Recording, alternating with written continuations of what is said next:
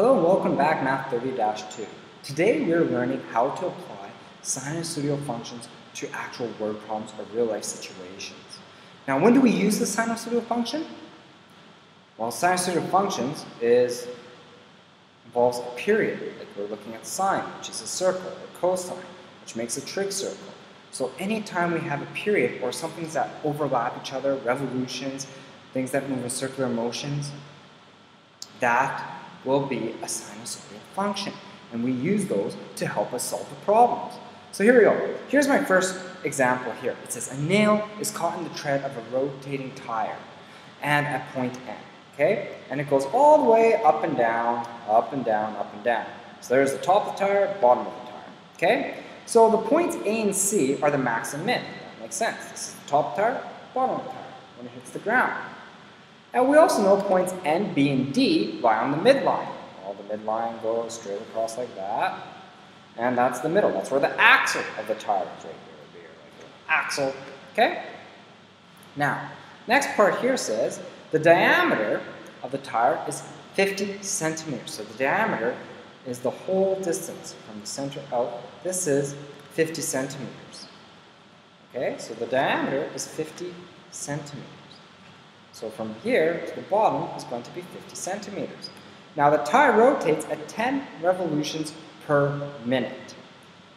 Hmm, well, remember from before, revolutions, that's all the way around a circle. So all the way around the circle is one period, right? Like sine So 10 revolutions per minute. Ah, that's interesting. So that means there's 10 periods in a minute. Next one says, after 1.5 seconds, the nail reaches its maximum height. Ah, A is the maximum height. That's after 1.5 seconds. Then it says, after 4.5 seconds, the nail touches the ground. It's here. So after 4.5 seconds, the nail will touch the ground. So now let's take a look at Jake's method. Jake's used the information to write the scale of each axis. Okay, so first he did why did he mark 4.5 at point C? Well, so point C is 4.5. Because after 4.5 seconds, the nail touches the ground. That's simple.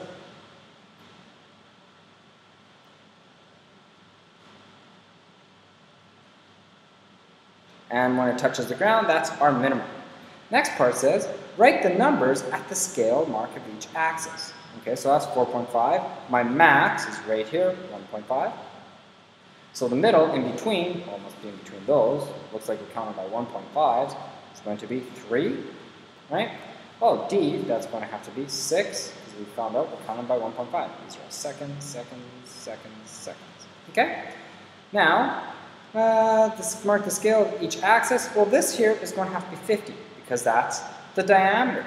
The diameter is 50, so from top to bottom of the tire is 50 centimeters. Okay?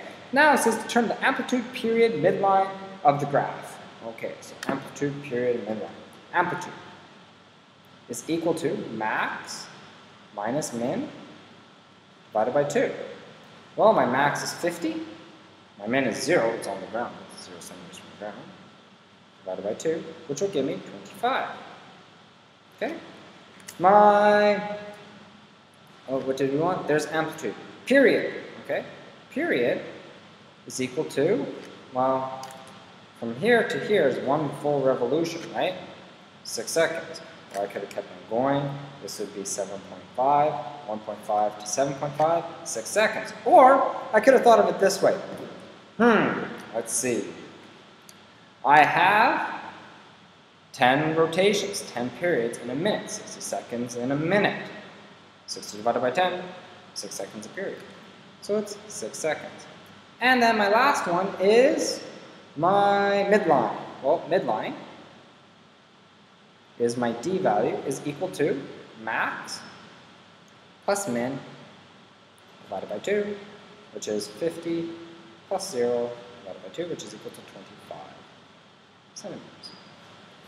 Okay? Now it says determine the equation for the height of the nail as a function. Okay. We're just using it this way. Nice, no, what is that called? No phase shift, so we're good. So my A is 25, sine my period. Oh, we have to find b. We know my that's b. So b is equal to 2 pi divided by whatever my period is. So my period is uh, 25. Okay? If we have it in terms of pi. If I had it in terms of degrees, it would be 360 divided by 25. But I'm going to keep it in terms of pi. So I have 2 pi over 25. Okay? So that's my b value. So I have 2 pi all over 25. Oh, sorry, my period is 6. 2 pi over 6. Or else I could have gone 360 over 6. I don't know what I was thinking. 2 pi over 6, which is the same as pi over 3. So I should place that with pi over 3. Okay, now what do I want to do? We also need to add d, which is 25, plus 25, because that's my midline. Oh, it wants it in terms of h of t. And this is t as in time. Okay? So, how far to nearest 0.1 centimeters is the nail above the ground after 6.5 seconds? So to do this here now, I have to use my graphing calculator. So I plug everything into my graphing calculator. Equals, just make sure my mode is in radians. Yep. Clear. So we have 25 sine, here's my sine, sine, and second pi divided by 3, bracket, plus 25, and my window, well, ooh, someone was really big here. So my max is going to be, I'm going to say 60. My min, oh, my min, negative 60, negative 10. Because we don't really go below, I'm going to say 60, just so I can see it. I have a bit above and below. My x, I'm going to say is going to be, no, not even. I'm going to say 12. I want to see two periods. So I graph it. Oh.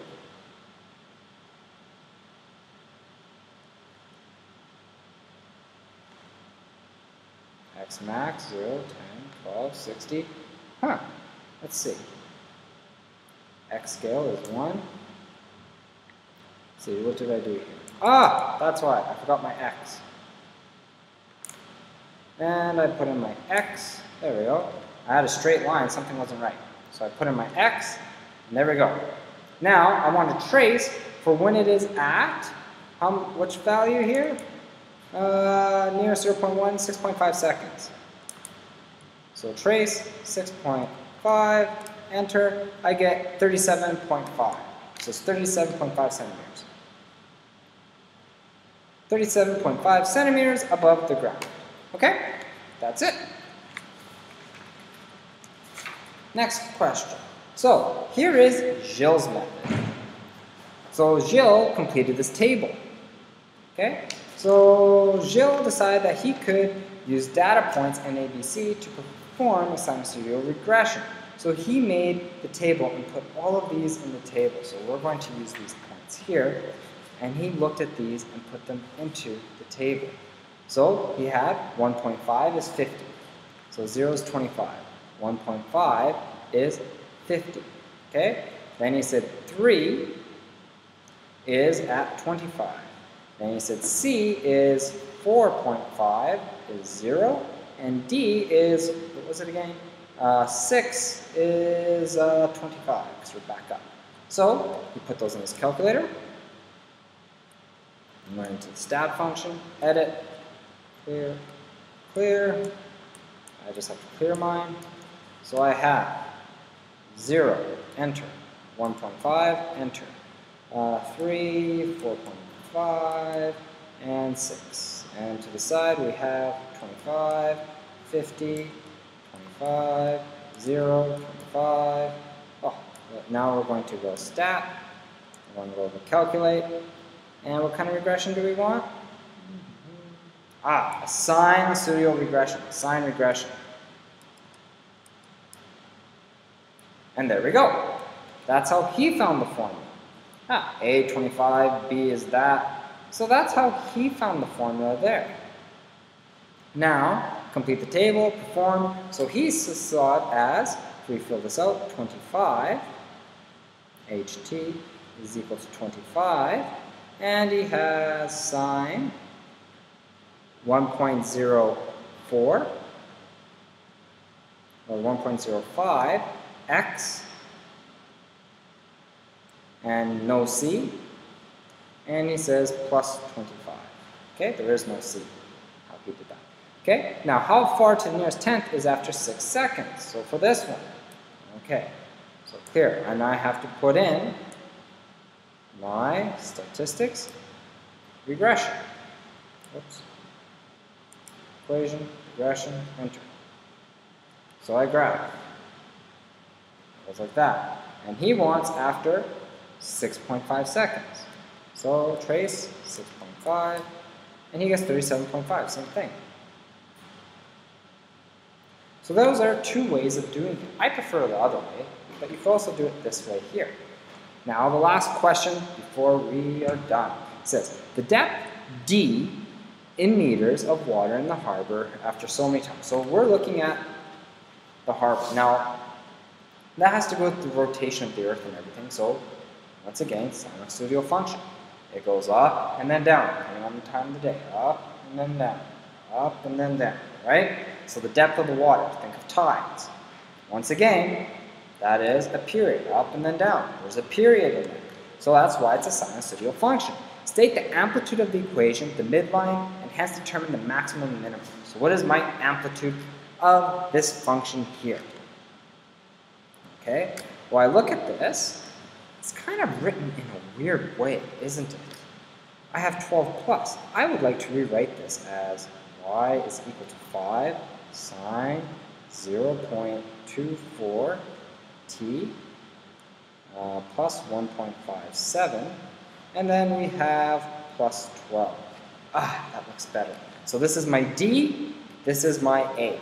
So it says the amplitude of the equation, oh, A is equal to 5. Okay?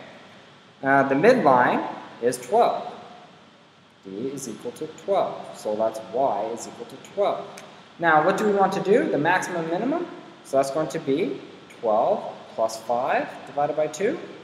Oops. The maximum is 12 plus 5 which is equal to 17 is my max, and 12 minus 5, which is equal to 7, is my min. Okay? So that's the depth. Now, next part is determine the period of the function. Okay? So these here determine my up and down. Whoops, sorry. This here and this determine my up and down. Now, for my period, that has to do with this 0.52 but that's my b. So period is equal to 2 pi divided by b. My b is 0.25 or 0.524. I put in my calculator. And I end up getting 12. To the nearest tenth of an hour, okay, 12 equals 12 hours. Okay, so every 12 hours. That makes sense. Every 12 hours, it's five. Okay. So, write a suitable window that can be displayed. Hmm. Right, a suitable window that can be displayed. So, I look at this here.